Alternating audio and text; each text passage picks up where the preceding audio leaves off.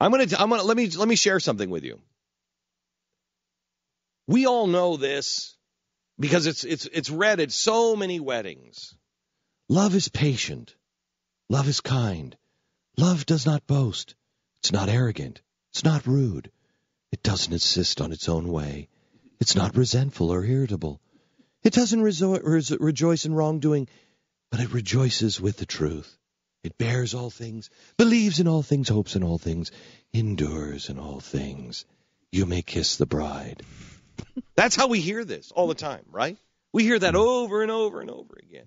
And then we have it and we're like, ah, that's my favorite scripture because it's the only one I really know. I heard it at somebody's wedding and I, whatever, whatever that one is, I want that read at my wedding because it'll put my wife or husband in a place and make sure they understand you're going to be patient and kind and you're not going to be arrogant and you're not going to, you're not going to insist on your own way. May I, may I give this to you as a litmus test? Let me give this to you as something I did last night as I was laying in bed as I was reading this. I took out love. Now, in some scriptures, it's charity. In some scriptures, it's love, but it's actually neither. The Greek word is agape, which is the pure love of Christ. It is the it is the self-sacrificing love of God. It is what we have uh, for our children. The minute they're born, something goes wrong with your children, you're immediately like, I'll take it. Give it to me. Give it to me. Give it to me. That's agape, where you are willing to do whatever it takes to your own demise because it's the right thing. Now, let's take out agape, charity, love, whatever. Insert your name here. Glenn is patient. No, not, no. Uh-uh. Glenn is kind. Try to be. Glenn does not boast. Glenn's not arrogant. Glenn's not rude. Not a chance. Glenn doesn't insist on his own way. Glenn's not resentful or irritable. Glenn doesn't rejoice in wrongdoing. That's the only one that I could say mm-hmm. I was pretty good on. I was like, I, I got that one. Well, not so much. Sometimes when somebody gets it, I'm like, yes.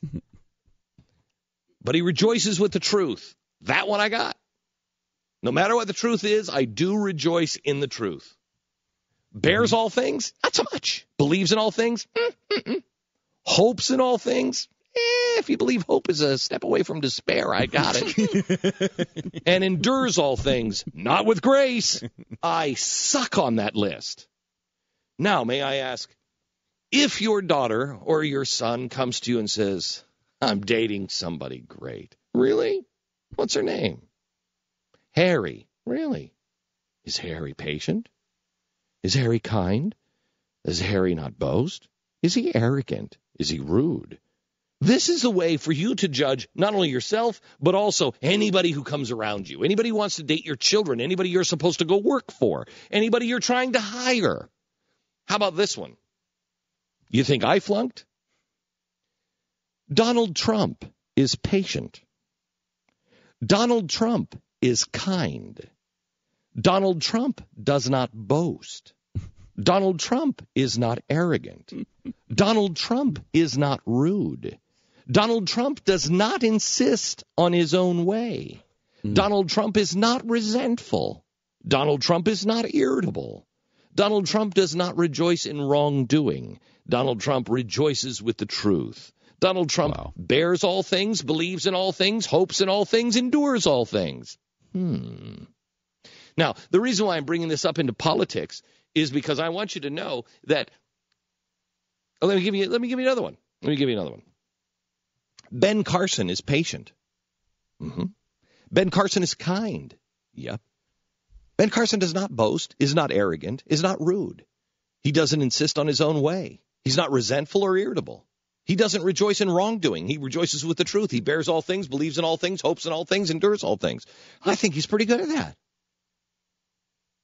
Now here's the secret. This is the first step.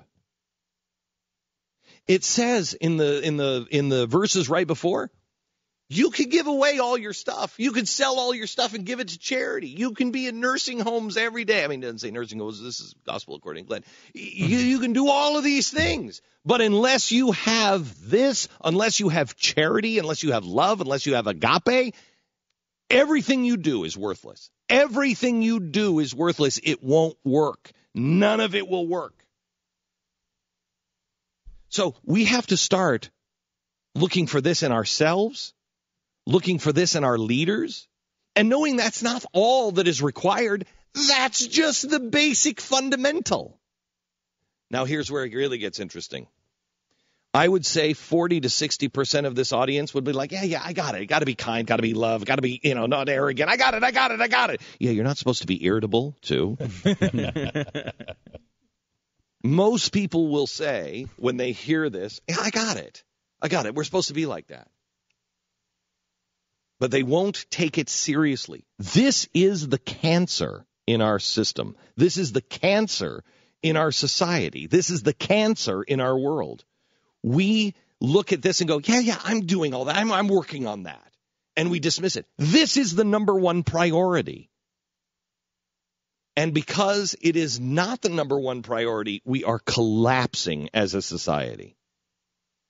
So I speak to maybe the 40%, 30%, 10 people that are within the sound of my voice that really get this or who want to get this. You want to change the world, you have to do this first.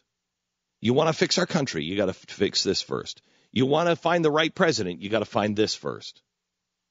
You don't find these things, it doesn't matter what anything else we do, it doesn't matter. Don't talk to me if he's a Muslim, if he's a Christian, if he's if he's a Catholic, is he a Mormon? Does he do, don't talk to me about any of that.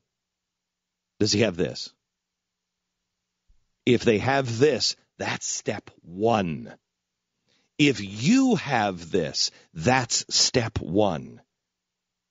If your daughter's boyfriend or her girlfriend has these things, that's step one.